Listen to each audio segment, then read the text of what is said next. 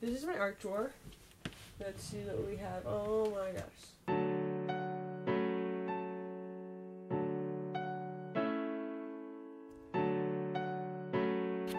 I forgot to record an intro. Hi guys, it's PandaFAM. I'm recording the intro right after, or I'm right now. I'm in editing process, and so I forgot to record an intro. This is my intro. Hi guys, it's PandaFAM. Thank you for watching, and let's get on with the video. It's no lie to say that most of us have pretty uh, unclean rooms, unorganized rooms, or just rooms like mine where everything's put away, but it doesn't really have a proper place where it should be. Most of us have these kind of rooms. If you have a clean room, good for you. I hope that one day I'll have a clean room where everything's put away where it's supposed to be and that I can keep it maintained.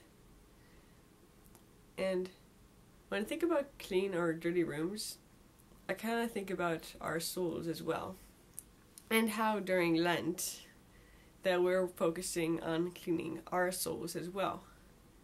And so that's why I knew I had to give up procrastination this year for Lent because I know that I procrastinate a lot. And even though sometimes I still do, I'm still working on it, don't worry. But, um, yeah, for instance, um, I would just let clothes pile up on my bed. One third of my bed is used for sleeping and the other is used for storage. Yeah, that's not the case right now, which is good. I'm working on that. So far, I'm keeping my bed pretty clean, and it does have little storage compartments in the bed as well. So, I'm hoping to use those more fully as well. Guess those wants to join in the video. Hi guys. Be up here? Hello. Hi, how are you? You're still cute. Okay. And so, I guess what I'm trying to say is our our bedrooms or our rooms can kind of reflect our souls or how like this is our living space. And how our souls are kind of our living space as well. And how that's that's where God lives in us. That's where our spiritual temple is. Yeah so this year for Lent I'm going to give up a dirty room. I'm going to give up procrastination and hopefully any of you who have uh, dirty rooms will help join with me as well so we can all have clean rooms and clean souls. So I guess like rooms and souls we have to keep them clean for visitors. Like always He's just falling asleep on my bed right now, and that's okay. So, I guess I will take you with me as we begin to clean my room, and we'll see what we can get done today.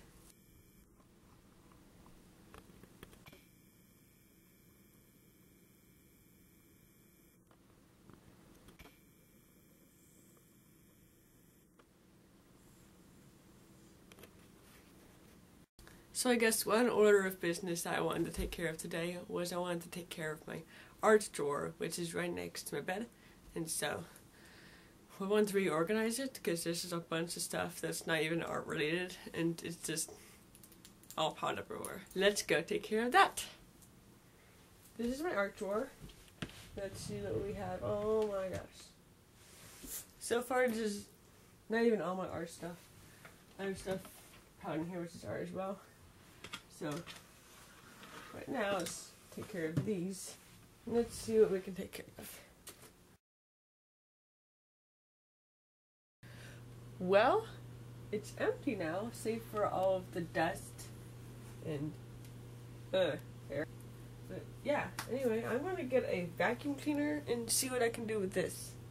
And then maybe try and organize all the stuff in my bed, which I'm to show you. Look all of this. That's a lot of art. And there's even some down here too. There's, there's even bowling pins. Where are those sitting there? it's a good thing to clean your room and clean your souls as well, which is kind of what I'm getting at. But yeah, let's get a vacuum cleaner. See what we can do.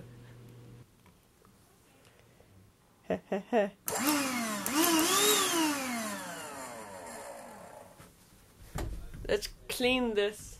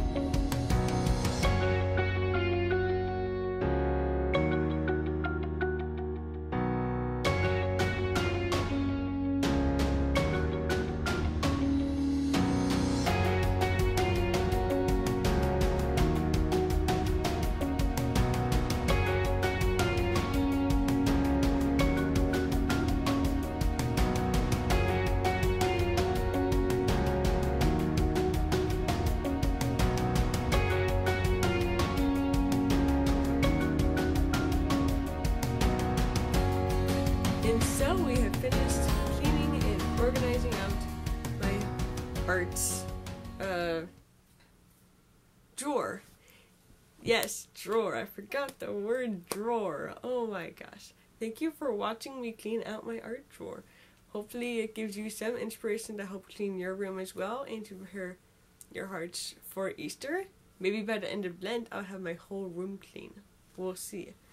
And so, thank you guys for watching, and I'll see you not tomorrow because Sundays do not count for Lent, although you can still continue to be a good person during Lent because it's Sunday. So, there'll be no videos tomorrow, but I will see you guys on Monday where I'll be posting Lent Part 5 out of 40.